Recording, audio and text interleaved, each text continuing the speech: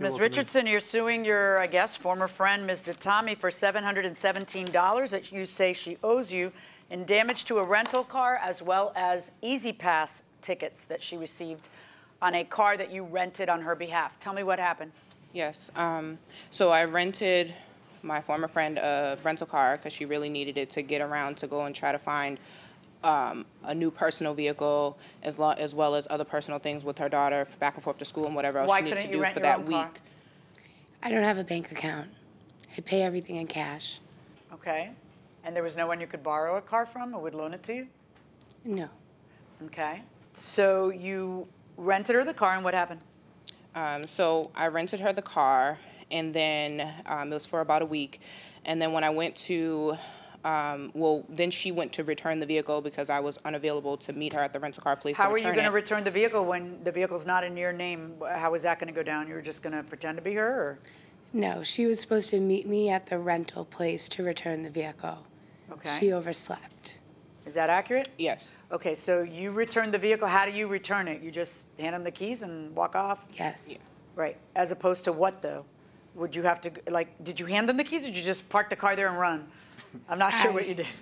You don't really have to be. You don't really Around. have to check out You just with hand them. it back. All right. Yeah. And then when you hand it back, um, according to you, the rental car uh, enterprise has said that it's been damaged. Yes, they started calling me maybe about an hour or two later, give or take. They've been they started calling me, um, telling me that they inspected the vehicle upon return and it's been damaged. So they called you the same day. Yes, All right. Do you call her the same day? I did. And what happens? Um, she just kept saying, well, there was no damage. She inspected it. She went to clean the car out before she brought it back. She looked around the car. She washed So the did car. there Enterprise was nothing. send, do you have a, a copy of the rental agreement?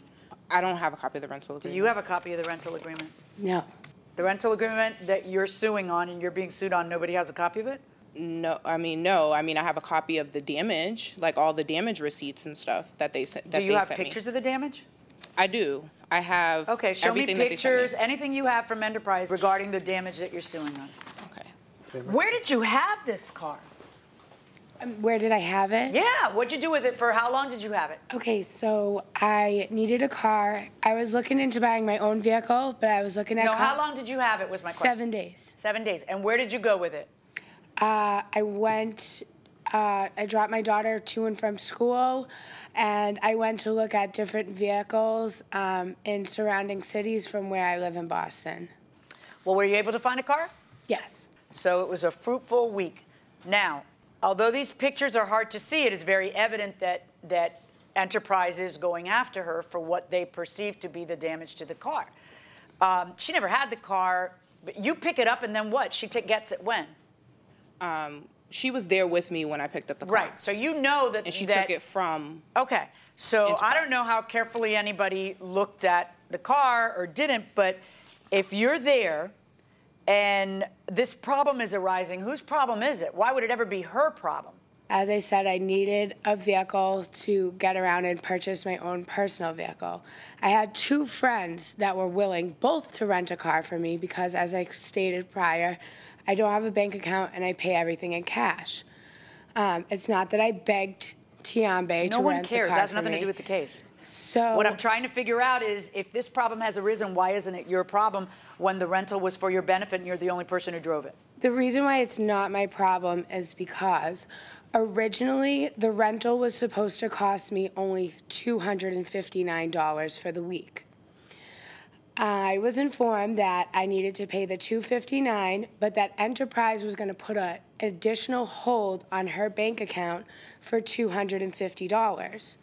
So at the beginning, I agreed to pay her $510 for the rental To cover the rental to and cover the the $250 rental hold. and the hold. Okay. And that after I returned the rental, I would get my $250 back. yeah, if nothing was wrong with the car. Yes. So what ends up happening is the 259 was the cost of the car, and then they kept the 250 because of the damage. Yes, but I know for a fact that I didn't damage this vehicle. I tell her at this point, I feel as though Enterprise sees that I'm not you and I've returned the vehicle.